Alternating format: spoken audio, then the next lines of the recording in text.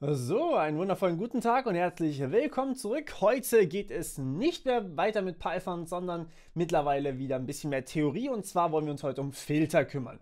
Filter sind etwas, um euer Signal zu bereinigen von Störsignalen, das ihr dann nicht mehr haben wollt. Und ja, das kann wie gesagt häufiger mal passieren, dass ihr irgendwie so ein fieses Piepsen oder sowas habt und das wollt ihr loswerden. So, und dementsprechend gibt es dafür natürlich auch gewisse Vorschriften bzw. mathematische Regeln.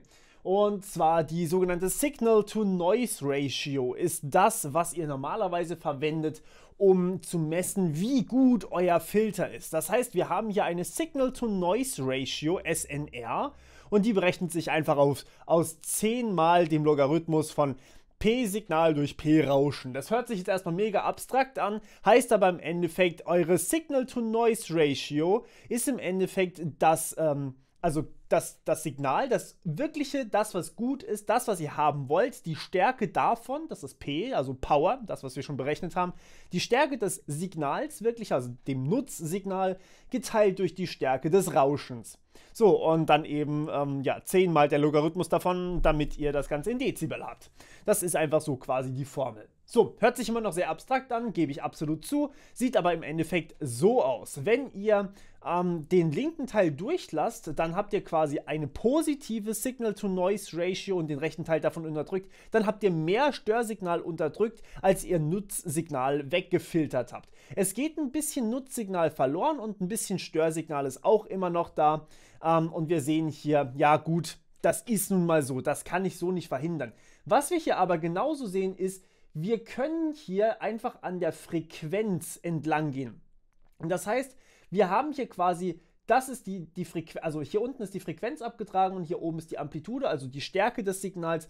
Und wir sagen, okay, ähm, wenn wir hier jetzt die Frequenzen rausfiltern, also diese Frequenzen hier auf der rechten Seite rausfiltern, bei denen das Störsignal eine stärkere Amplitude hat als das normale Nutzsignal, dann haben wir eine positive Signal-to-Noise-Ratio. Und natürlich geht etwas von dem Nutzsignal verloren. Ihr seid 10.000 Mal besser dran, wenn ihr von Anfang an einfach keine Störsignale habt. Deswegen machen die ganzen YouTuber ja überall an ihre ganzen Wände und ich übrigens auch überall an ihre ganzen Wände irgendwelche Sachen, die Schall schlucken, damit man möglichst kein Echo hat im Raum. Weil ansonsten hört sich das einfach ekelhaft an. So, und unterdrücken im Nachhinein ist wirklich, wirklich schwer, weil immer auch ein bisschen Nutzsignal flöten geht hier. Das ist eben der Teil. Und die Frequenzen hier, naja gut, die gehen dann halt mit flöten.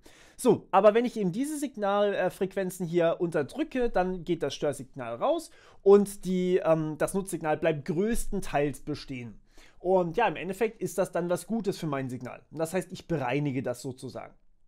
Okay, so, wie sieht das in der Praxis aus? Naja, es gibt vier Arten von Filtern und die habe ich euch eigentlich schon teilweise vorgestellt, zumindest einmal den Tiefpassfilter, der filtert einfach alle hohen Frequenzen weg, das heißt, er lässt die tiefen Frequenzen durchpassieren, okay, so kann man sich das merken, also tief Pass, ja.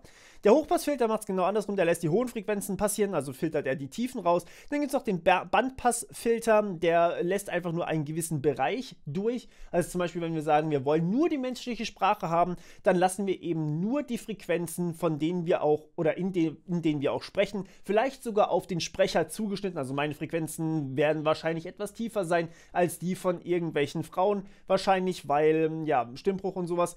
Und die von, ähm, ähm, ja, die von anderen Männern wird wiederum tiefer sein als meine Stimme. Das heißt, da kann man dann aber sowas rausfiltern, indem man einfach nur quasi meine Stimme äh, drin lässt und den Rest einfach rausschneidet. Das ist der Bandpassfilter. Während die Bandsperre wäre genau das Gegenteil davon. Da lasse ich einfach meine Stimme komplett rausfiltern, indem ich einfach alles, wo meine Stimme drin ist, rausfiltere. Dann habe ich quasi nur das Signal drumrum. Und so macht Audacity das im Endeffekt auch, wenn ihr zum Beispiel sagt, ihr wollt die Stimme extrahieren. Das funktioniert genau gleich.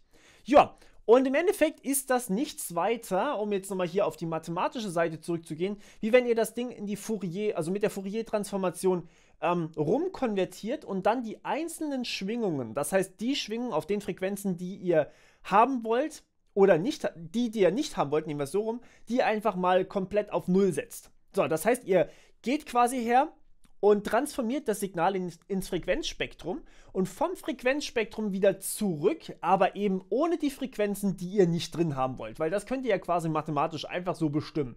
Und das ist im Endeffekt der große Trick dabei. ja, und das ist eigentlich auch schon, was ich zu Filtern euch sagen möchte. Das ist eigentlich so ziemlich das Wichtigste. Und ja, falls ihr noch Fragen habt, immer gerne her damit. Vielleicht kommt dann noch ein neues Video. Wir hören uns wieder beim nächsten Mal. Bis dann. Ciao.